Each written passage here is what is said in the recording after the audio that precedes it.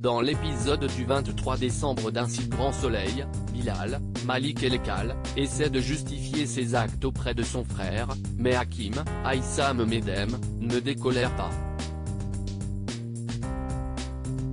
Quand il apprend plus que Ludo, Folco Marchi, et Noémie, Lucille Crier, ont croisé William, Olivier Cabassut, le soir où il a été agressé, et que Bilal lui dit qu'il était obligé de les protéger, le jeune policier laisse éclater sa colère.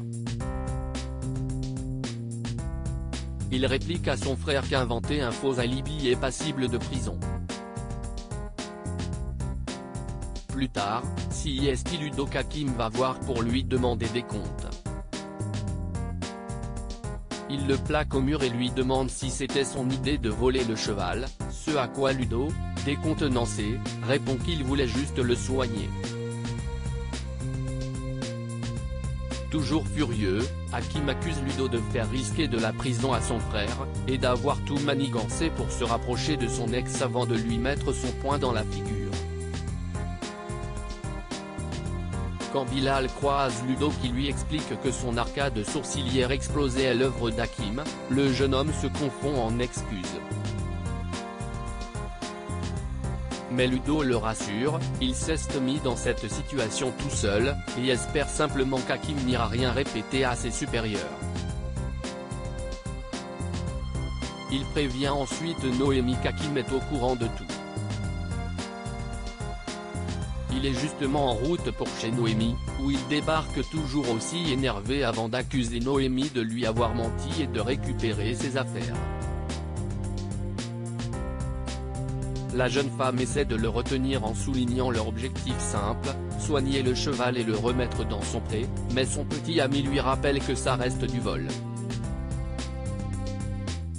Hakim a également des doutes quant à la relation entre Noémie et Ludo, même si Noémie lui assure que si est lui qu'elle aime. Toujours furieux, il reste insensible aux supplications de Noémie et Senva. Manu se doute-t-il de quelque chose? De leur côté, Eve, Emma Colberti, Dimitri, Victorien Robert, et Claudine, Catherine Wilkening, mettent un plan au point pour piéger Rudy, Jules Rousset, et forcer une rencontre avec Eve. Cette dernière refuse le téléphone prépayé proposé par Claudine, de peur que Manu, Moïse Santamaria, ne le trouve, mais elle accepte de changer son répondeur et de se mettre sur liste rouge.